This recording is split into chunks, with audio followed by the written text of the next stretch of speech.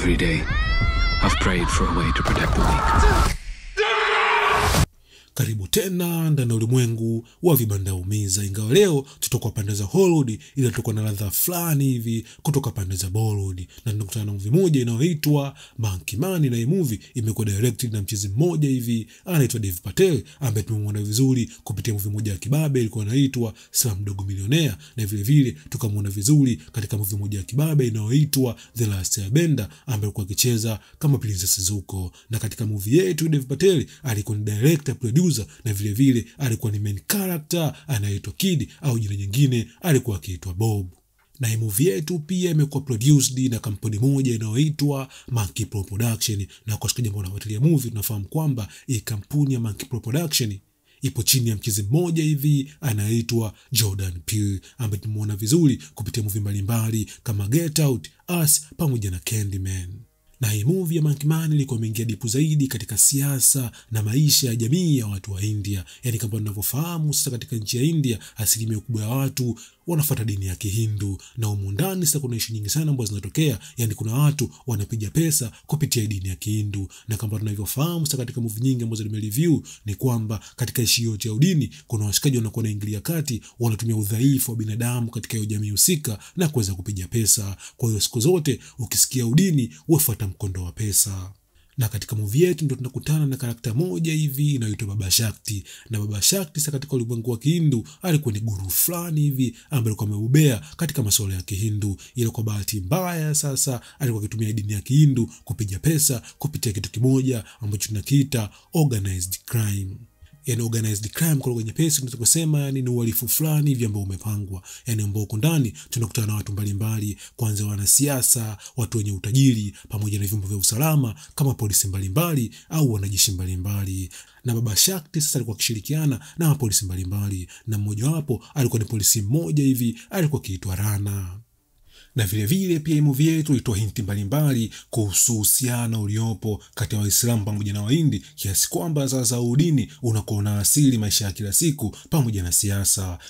Ila msitizo mkubwa kabisa katika movie yetu ulikuwa ni kuhusu gepu iliyopo kati ya maskini pamoja na matajiri nchini India. Kumbuka sasa, nchini India kuna mabilionea wa kutosha, ila kwa bahati mbaya ni nchi ambayo inaongoza kwa maskini wengi sana na katika movie yetu ya Monkey Man sasa, huyu jamaa anaitwa Kid aka Bob aka Monkey Man, motivation yake ilikuwa ni kisasi, ila baadaye kabisa kuja kugundua kitu kimoja, kuwa hiki sasa anachokifanya sio kwa ajili yake peke yake, ni kwa ajili ya watu wote ambao wananyonywa na watu matajiri pande za India. Na swali kubwa sana kujiuliza, je, ni kisasi gani hasa ambacho huyu Kid ak Bob ak markman alikuwa akitafuta? Na kama wewe ni mara ya kwanza ndani ya ulimwengu vibanda umiza, basi usisahau kulike, kucomment, kushare na kusubscribe ndani ya channel yetu changai ya vibanda umiza, ili uweze kupata review za movie na TV show mbalimbali kutoka mbele.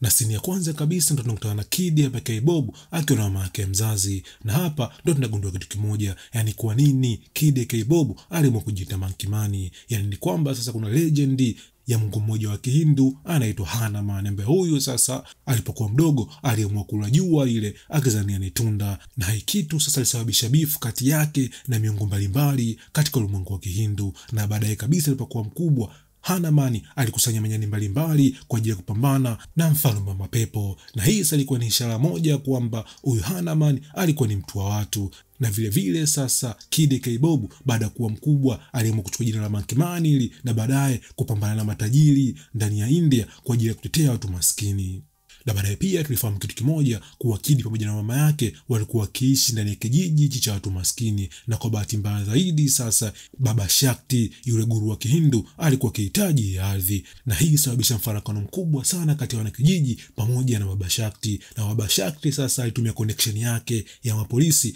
kuwatuma polisi na kuchoma moto kijiji chote hichi, na kwa bahati mbaya sana kipindi ambacho polisi mmoja aitwa Rana alimpiga mama yake Kidi na kumuua, na vilevile aliamua kumpiga moto. Na kwa bahati mbaya zaidi sa Kidi alipojaribu kumwokoa mama yake mikono yake iliungua moto, na kuanzia siku hiyo Kidi aliapia lazima alipize kisasi, na haya makovu kwenye mikono ilikuwa ni ishara au kikumbusho kwamba siku moja lazima alipize kisasi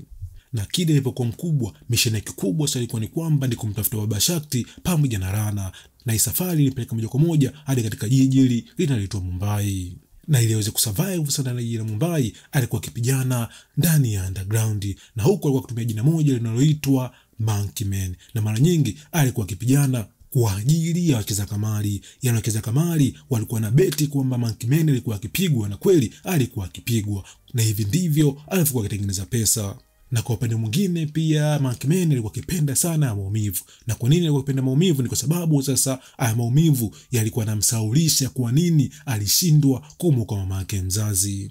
Na vile vile pia Monkey Man aligundua kitu kimoja, ili aweze kulipiza kisasi na kuwapata baba Shakti pamoja na Rana, ilikuwa lazima afanye kazi kwenye klabu moja hivi pande za Mumbai inayoitwa Kings Club, na kweli alifanikiwa kuingia ndani na kufanya kazi ndani ya Kings Club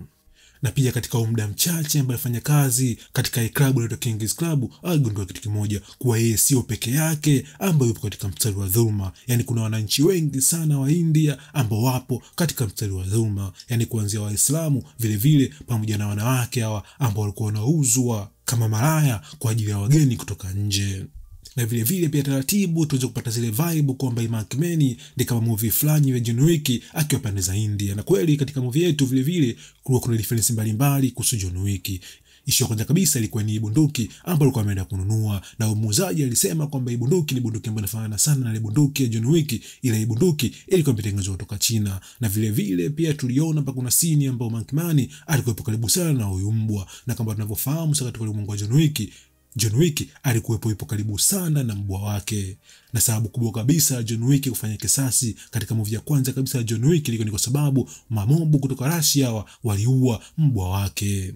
Na kweli Samanki Man alikuwa anafanya kazi ndani ya Kings Club, anafanikiwa kukutana na ana na Rana huyu. Nakumbuka Rana sasa huyu alikuwa ni afisa wa polisi ambaye kipindi hicho alimuoa yake mzazi, na kwa bahati mbaya katika mpambano wa kwanza Monkey Man alishindwa kabisa kumuua Rana, ila kwa bahati nzuri sasa, baada ya kuumizwa vibaya sana, na kuja kuokolewa na watu fulani hivi ambao pande za India wanawaita Hijra.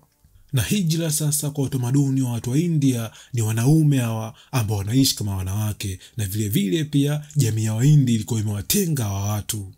na kwa upande mwingine pia Mankimeni Man baada ya kupata nguvu na kujipanga, anaamua kurudi tena katika hiyo hoteli, na kwa bahati nzuri anafanikiwa kupambana na huyo polisi anaitwa Rana na anafanikiwa kumuua, na mtu anayebaki anakuwa ni mtu mmoja tu ambaye ni Baba Shakti na tuliona mpambano hapa na pale kati ya Baba Shakti pamoja na Monkey Man, na kwa bahati nzuri Monkey Man anafanikiwa kumua Baba Shakti, ila kwa bahati mbaya Monkey Man alijeruhiwa vibaya sana. Ila ndani ya muvi yetu saa tujui kama Monkey Man alikufa au Monkey Man hakufariki dunia. Ila kwa mtazamo wangu mimi sasa, Monkey Man hakufariki dunia, na kuna uwezekano mkubwa tukapata movie ya pili ya Monkey Man na kwa ujumla unaweza sema ni movie ilikuwa iko freshi na binafsi na ipa alama nane juu ya kumi. Na kwa review zinazofuata ndani ya ulimwengu vibanda umiza, stay tuned.